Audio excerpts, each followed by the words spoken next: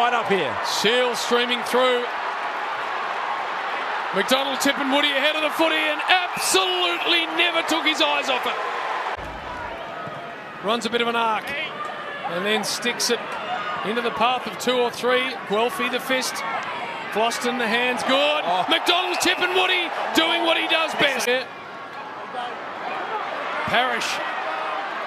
Now McDonald-Tipungwuti. What can he do? Has a bounce. Arches the back. The little man. Kick a goal. Yes, please.